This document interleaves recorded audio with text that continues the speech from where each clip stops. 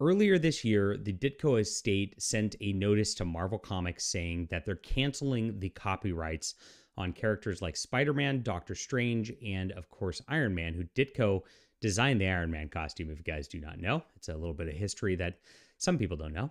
And uh, he actually uh, did so much work for Marvel over the years really created these characters at the end of the day, did most of the work himself. If you don't know, like Stan Lee and him did not have a good relationship.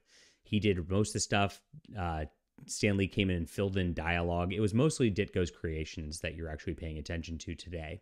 And so uh, the Ditko estate wanted a different situation. Marvel tried to say it was a work for hire back in the day, and what they did is they screwed creators out of their own creations and screwed them out of uh, royalties for movies and the like as things went down the line.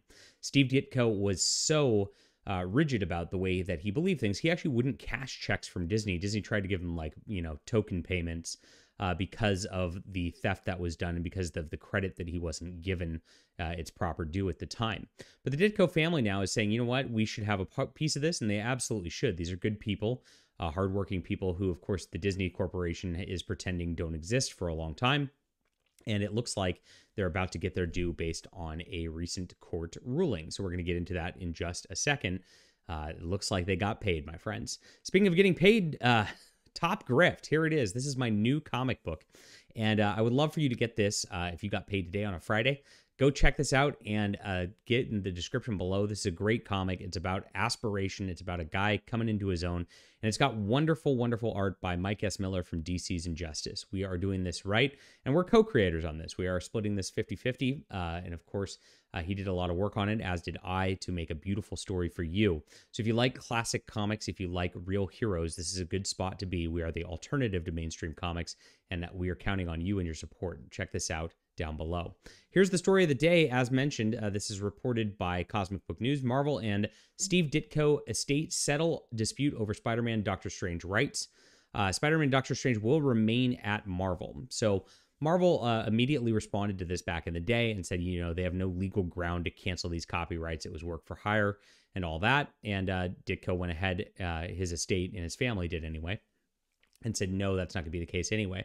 Marvel wouldn't have lost any of the rights to these, by the way. They still would have been able to publish these, make movies, etc. It's just that the Ditko estate would get a cut of that going forward at that point uh, was all the contention was because this was a co-creation and that's exactly uh, what they were trying to fight so uh, a settlement came down this week and of course uh, it is now confidential disney is not saying anything and neither is the ditko estate they're not allowed to say what it was and there's a reason for that what disney doesn't want is to say hey uh, we paid you millions of dollars because uh, it encourages all the other creators they screwed over the years to try to do similar things, and they want to squash this uh, as quietly as possible. So Disney, of course, is just doing their little mouse thing and trying to maintain the status quo as much as possible. Now, this is not the first time they've had to deal with this. The Jack Kirby estate did similar a lot of years ago. And of course, Jack Kirby got screwed out of a lot of his creations, also by Marvel and then eventually by Disney as things went along. So, uh, this has been a train wreck of a situation for Disney. Uh, of course, uh, DC Comics did much the same thing with their Superman uh, and had uh, states with the Shuster uh, fights and all that back in the day as well. It's it's a comic industry travesty that people don't get paid for their work, and it is the case more often than not, unfortunately. Now, I hope that the Ditko estate uh, does something really good going forward. Um, there's a lot of cool Steve Ditko properties that he made by himself as independent properties. I've covered them a lot here on the channel. If you know that we uh, are huge Steve Ditko fans around here, and a lot of stuff uh, doesn't quite get the attention of Spider-Man and Doctor Strange that he created. But the guy was a genius, created really cool things, and the best work ethic out of anybody out there in comics. So I'm glad to see that his family's getting his due after all this time.